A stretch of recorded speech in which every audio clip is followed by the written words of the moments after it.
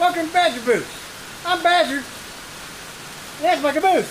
But today we're going to do some outside renovating. Here we go. So, here we are on the end of the caboose. I need to do some removal of some items to actually do two things. One, make it look better, um, more open. So whenever I build a porch out on this end, it'll be all open. And second of all, it's gonna be hard to get through that doorway going around this corner with uh, appliances and such.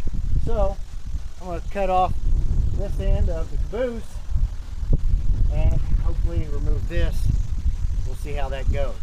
So I'm gonna start cutting. All right, here we are. We've went through this, me and my nephew Ryan went through this, cut rivets, cut welds, unhook linkage for the brake line, and uh, we're ready to pretty much yank this sucker out here. So, here we go.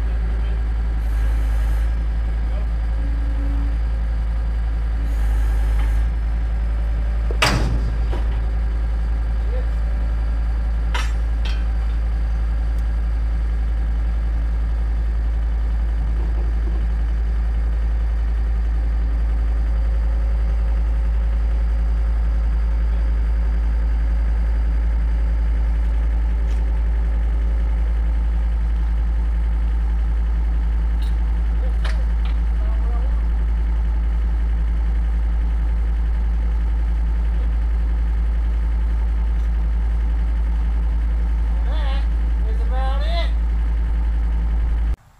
Anyway, it's starting to rain out here. I think we're gonna call it a day.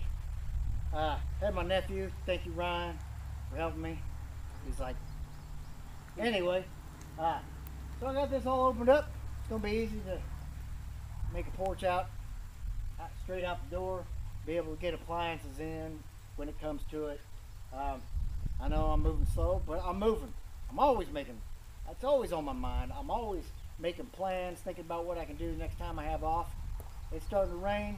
I'm going to call it call it today good. It's muddy and heck up here. Um, one person can do it. Another person probably can. uh, Badger out.